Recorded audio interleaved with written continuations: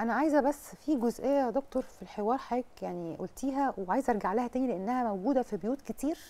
وبدأت في هذا العصر تزيد وأنا ما أعرفش إيه سببها بالذات لأن طول عمرنا الأبهات بالنسبة لنا ما كانوش بيعملوا كده في, أجيالنا وأجيال اللي قبل كده الأب واللي عنده بنت بالذات بيبقى ما بتخش في سن المراهقة بيبقى مش عاوز يحضنها ولا يطبطب عليها من باب إن هو إيه ما يصحش وعيب. فبتبدأ هو بقى مش فاهم إنها بتبدأ تدور على مشاعر تانية خالص تعوديه بره. برافو فأنا صح الجزء ده يمكن هو مش بعيد عن موضوعنا بس أنا عاوزة الأبهات اللي بتعمل كده اللي ما بتحضنش بناتها وتطبطب عليهم دي بنتك.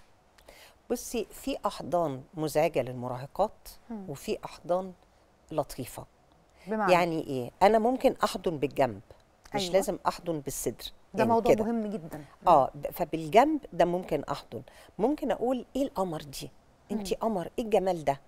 ما بقاش ضرب التكشيرة ورايا لستة أوامر بنفذها وأشكر في حاجات فيها مش بس شكلها فكرها آه، أخلاقها دينها. أبوس ف- راسها وطبطب على راسها. بالظبط. لمسات بسيطة.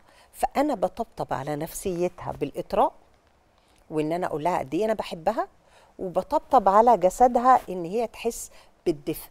من غير أزعجها ولا حرمها من حنيتي. بالظبط. ودايما أقول للآباء اللي بيجوا لي عصبيين مع بناتهم أقول له ما تطلعش بنتك من بيتك جعانة حب. هتدور عليه في أي اتجاه. ويا ترى هتدفع الثمن الحب ده من شرفك؟ اسأل نفسك. الله على الرد بالظبط. بالظبط.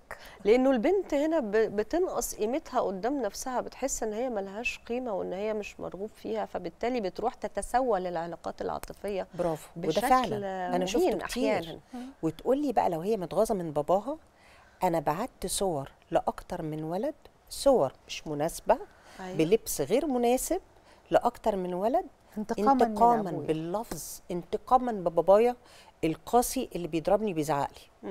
وأنا فوجئت كانت بنت 14 سنة أنا اتخضيت إن هي عارفة هي بتعمل إيه وأنا بقول لها ده غلط قالت لي أصل أنا بنتقم يعني ده مؤلم جدا. طب لو آه،